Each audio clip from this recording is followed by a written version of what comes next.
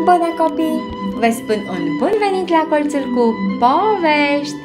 O vacanță și un lup mort, partea a doua. James și Ellen White împreună cu fiul lor Willy erau campați lângă un lac din Colorado. Mâncarea era pe terminate și aproape că folosiseră toate lumânările. De asemenea, James nu putea să își țină promisiunea că va trimite un material important prin poștă material care trebuia tipărit. În după amiaza zilei în care James și Willy au mers în drumeție, ei au aflat că bărbatul care venea după pește urma să sosească în acea seară și avea să plece dimineața de vreme. El putea duce materialul pe care James promisese să îl trimită la timp pentru a fi tipărit.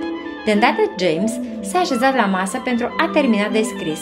În timp ce scria, mai privea din când în când la soare. Își folosiseră toate lumânările și curând se lăsa întunericul. Trebuia să termine de scris, dar cum putea continua pe întuneric? Apoi, lui James i-a venit o idee. Willy, Willy, vino aici! Trebuie să am lumină pentru a termina acest material. Îți amintești de trupul acelui lup pe care l-am văzut? În drumeție? Willy și-a amintit. Crezi că l-ai putea găsi? a întrebat James. Willy i-a spus că da. Vreau să iei un cuțit și o tigaie, să mergi la trupul acelui lup, să iei toată grăsimea de pe el și să o aduci. Chiar când pleca Willy, James i-a mai spus, ai grijă să iei și arma. Sunt urși acolo în întuneric. Cu arma pe umăr și cuțitul și tigaia la el, Willy a pornit înspre lupul mort.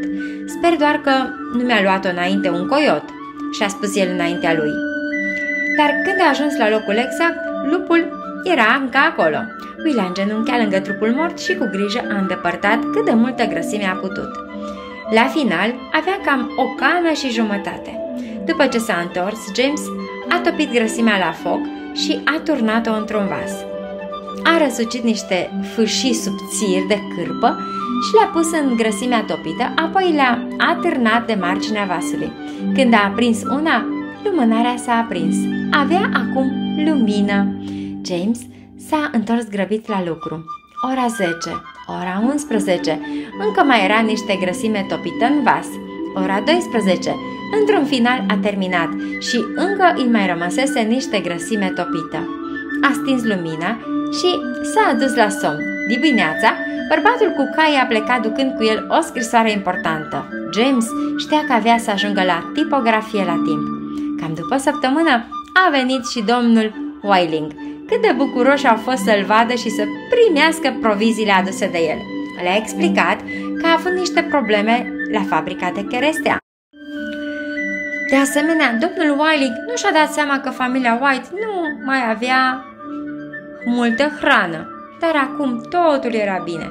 Toți au fost bucuroși că au mers în excursie la lac și niciodată nu au uitat de lupul care l-a ajutat pe James să își țină promisiunea de a trimite scrisoarea la timp. Fiți binecuvântați, Domnul cu voi!